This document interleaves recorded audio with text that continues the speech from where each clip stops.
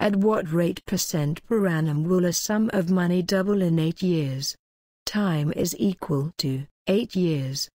Amount is equal to principal plus simple interest. As the principal doubles in the period the amount is twice the principal. So amount is equal to 2 principal. Forming an equation equating the amount in the two equations above. 2 principal is equal to principal plus simple interest. So we can say principal is equal to simple interest. Let the principal be P. Simple interest is equal to principal into time into rate percent divided by 100. Simple interest is equal to principal into 8 into rate percent divided by 100. We need to find the rate of interest so we keep the interest in one side and move the remaining terms to the other side. Rate is equal to 100 into simple interest divided by principal into 8 is equal to 25 into principal by principal into 2 as simple interest of the sum is equal to principal is equal to 25 by 2 percentage rate is equal to 12.5 percentage per annum for a sum of money to double in 8 years the rate of interest should be 12 1 by 2 percentage per annum. Let us see another example. At what rate percent per annum will a sum of money double in 25 years? Time is equal to 25 years. Amount is equal to principal plus simple interest. As the principal doubles in the period the amount is twice the principal so amount is equal to 2 principal. Forming an equation equating the amount in the two equations above.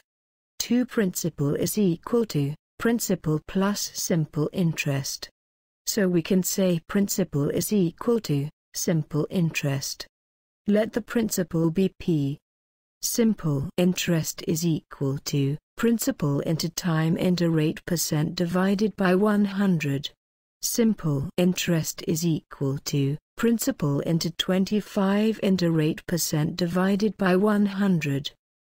We need to find the rate of interest so we keep the interest in one side and move the remaining terms to the other side. Rate is equal to 100 into simple interest divided by principal into 25 is equal to 4 into principal divided by principal into 1, as simple interest of the sum is equal to principal, is equal to 4 percentage. For a sum of money to double in 25 years the rate of interest should be 4 percentage per annum. Let us see another example. At what rate percent per annum will a sum of money double in 20 years? Time t is equal to 20 years. Amount is equal to principal plus simple interest. As the principal doubles in the period the amount is twice the principal. So amount is equal to 2 principal. Forming an equation equating the amount in the two equations above. 2 principal is equal to principal plus simple interest. So we can say principal is equal to simple interest. Let the principal be P. Simple interest is equal to principal into time into rate percent divided by 100. Simple interest is equal to principal into 20 into rate percent divided by 100. We need to find the rate of interest so we keep the interest in one side and move the remaining terms to the other side.